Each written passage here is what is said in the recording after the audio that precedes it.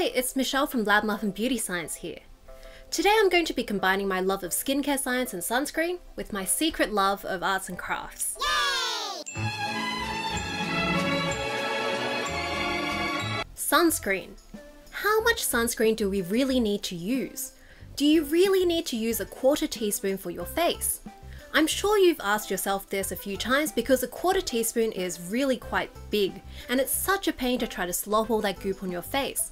If it's thick and greasy, then it takes ages to put on and it's all greasy and oily.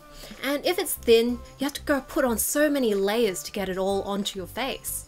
Where does this quarter teaspoon rule come from?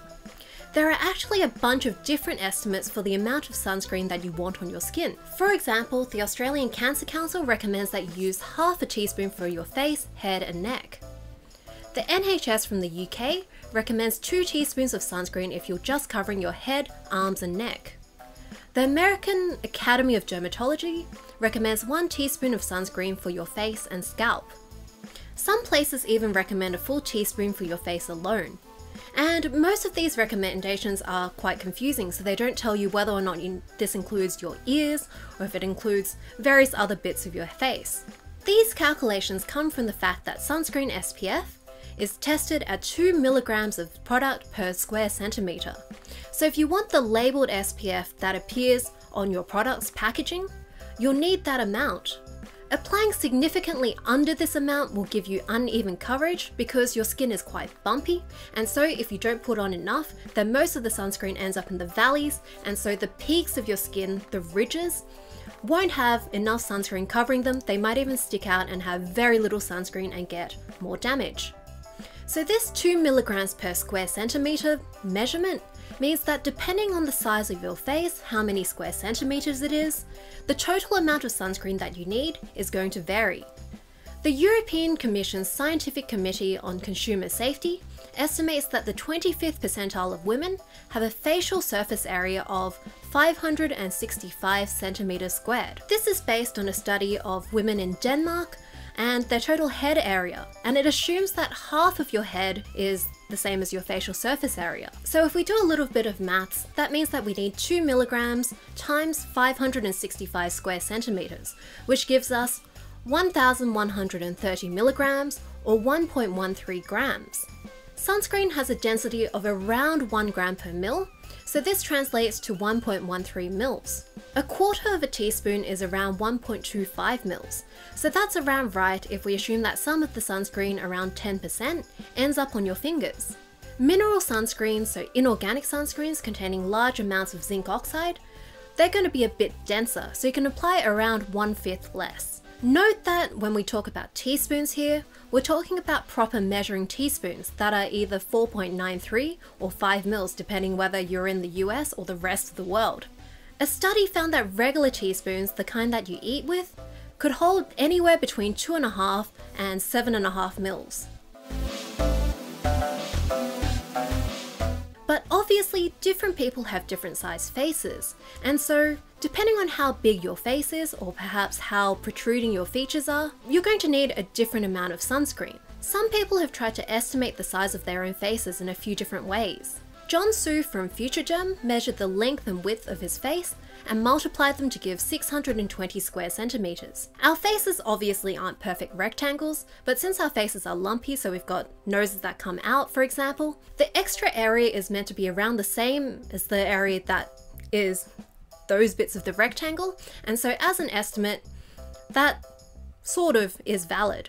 A Korean TV show used a grid that was printed on plastic to cover a guy's face, and they worked out that he was 400 square centimeters. Some people on Reddit have tried dividing their face up into different rectangular zones and approximating their face as an oval, which gave much lower values of around 360 square centimeters. So these estimates have inspired me to try and find my own way of measuring it. So I went to this Priceline Press event a while ago and they gave me these rolls of paper tape. It's their own Priceline Pharmacy brand, but basically they're a generic version of 3M's Micropore. My parents are nurses, so I grew up around this stuff thinking that this was normal sticky tape. This stuff is actually really amazing for sticking on blisters on your feet, especially near your heel, and wrapping up paper cuts on your fingers. But today what I'm planning to do with it is waste it all by covering my face with it. According to Priceline, this paper tape is 2.5 centimeters by 9.1 meters, which altogether gives us over 2,000 square centimeters, so, so I really should have plenty to spare. But I think I've used some to stick over clothing tags which were scratchy, which is another amazing use of it. So if I run out, I might have to add some band-aids to the mix. So after I cover my face with all of this tape, what I'm going to do is take it off my face and then stick it on this grid paper and then count the total area that it covers.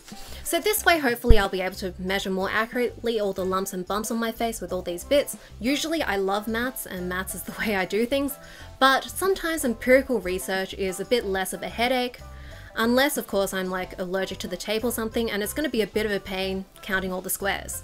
My face is pretty oily, so I'm gonna have to wash my face and blot it pretty thoroughly and maybe even give it a quick wipe down with some rubbing alcohol. But it's possible that if I go too slowly, then all my face oils will come out and then unstick the tape and everything gets ruined, but that's a problem for later Michelle. Let's mummify my face. So I know that watching me apply tape on my face isn't the most exciting thing to see, so I'm going to be treating you guys to a dramatic reading of some of my products. Paula's Choice Skin Perfecting 2% BHA Lotion. What it does creates radiant, even looking skin, soothes redness, minimizes enlarged pores. Our products are non irritating, fragrance free, and never animal tested. Directions Apply once or twice daily after cleansing and toning. Apply a dime sized amount over the entire face, including the eyes. Avoid the lower lash line and eyelids. Do not rinse. For daytime, always follow with a sunscreen. Dear Klairs. I never noticed the word dear there. Supple Preparation Facial Toner. Moisturizing Skincare Program. Dear Klairs believes in simple skincare. We use a mint products catered to your exact skin type to produce the best results. The Supple Preparation Facial Toner is formulated with a base of various botanical extracts to balance the skin's pH level and provide full nourishment to the skin. It contains various ingredients such as Lipidure and beta glucan which provide deep hydration and help prepare the skin absorb following products better and boost their effectiveness. Nutribiotic, where science works naturally. Pharmaceutical grade ascorbic acid, 100% pure vitamin C, crystalline powder, dietary supplement. Nutribiotic ascorbic acid is 100% pharmaceutical grade vitamin C an essential nutrient beneficial to the body's overall health.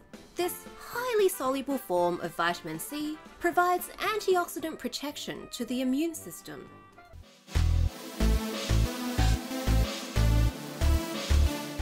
I've gone off and counted all the squares and it worked out to be 381 square centimeters.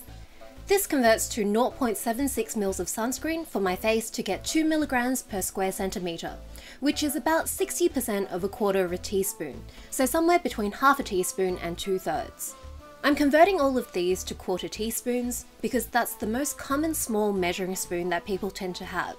I realized that I also apply sunscreen to this area, between my chin and where it starts to turn into my neck, and I also measured that part using the tape method. It worked out to be 75 square centimeters, which takes the total up to about 3 quarters of a quarter teaspoon. I also apply sunscreen with these three fingers, which works out to be 30 square centimeters according to my tape method. That takes it up to about a bit over 3 quarters of a quarter teaspoon. Obviously this measurement is a bit flawed because I probably end up with 10 layers of sunscreen on these fingers, but it's probably about as good of an approximation as I'm going to get. I've also been meaning to wear sunscreen more on my neck and my decolletage, which turn out to be 144 and 280 square centimeters respectively, so this area converts to about two thirds of a quarter teaspoon. If you want to try this experiment at home, I've put links to the paper tape and the grid paper I used in the caption. Make sure that you print out the grid as actual size rather than fit to page which makes it a bit smaller. Thanks for watching my video. If you liked this sort of video, please subscribe to my channel. You can also check out my blog, which has lots of stuff on science and beauty. And you can also follow me on Instagram and Facebook. See you next time.